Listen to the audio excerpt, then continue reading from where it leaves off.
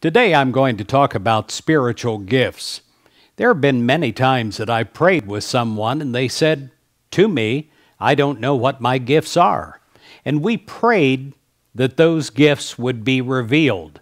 And as I watched them over the next few years, a surprising array of gifts became visible to them, and they were able to use them to better their life and better the world around them in a huge way.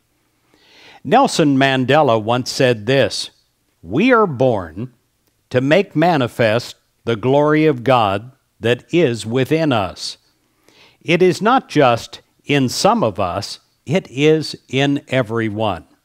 As we let our own light shine, we unconsciously give other people permission to do the same.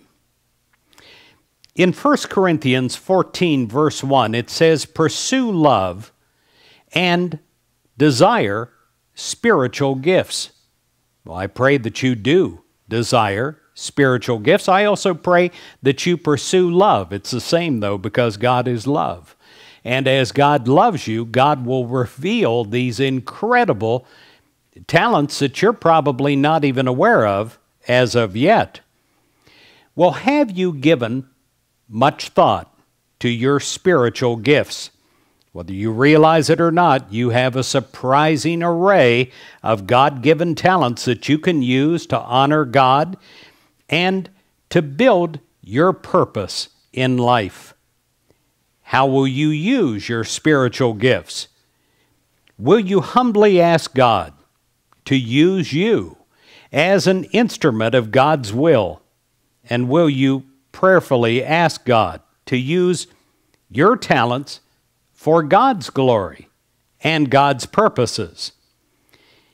If you do, God has promised to guide your steps and to answer your prayers.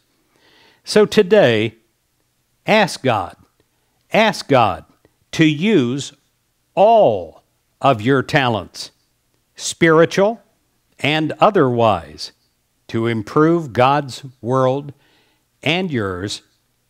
And when you do, God will use you, and God will bless you. And no other pursuit in life, I believe, can promise a greater joy.